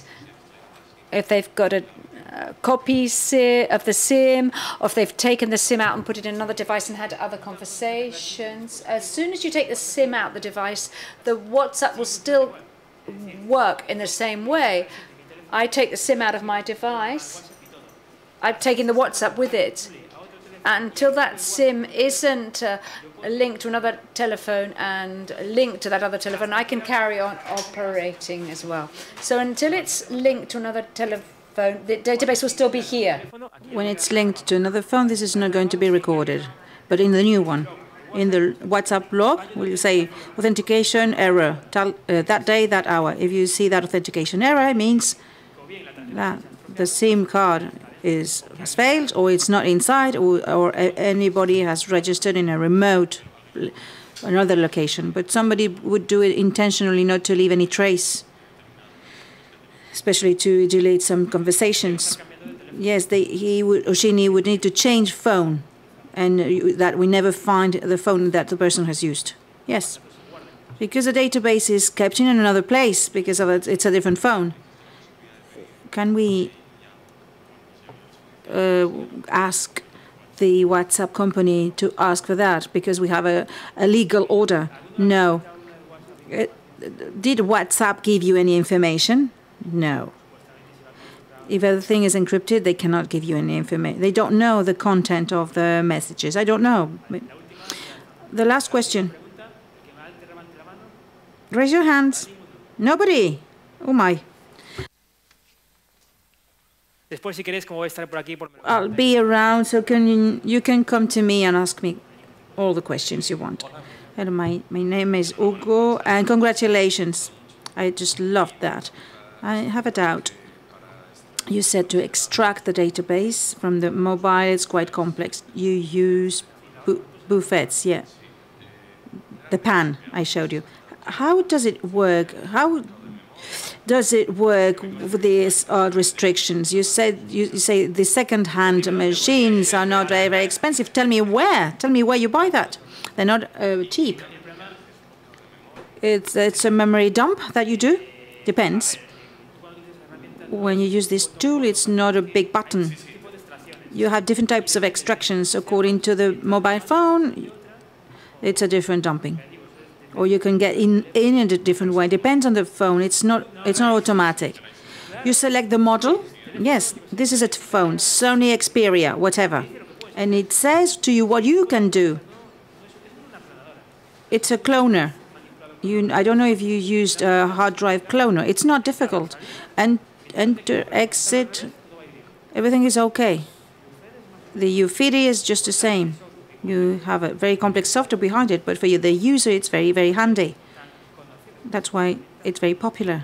It's very comfortable. Next, next, next. And then you have the information that is copied to another location where you can analyze it. Okay? It's low level functioning. It, well, it's uh, the, the design is my I don't know if it's BB or Android backup, the same that I used, but it's automa automated. And it knows how it, it needs to attack the, the specific model of the phone. It's a database of phones and what you can do to that phone model. Thank you very much, everybody.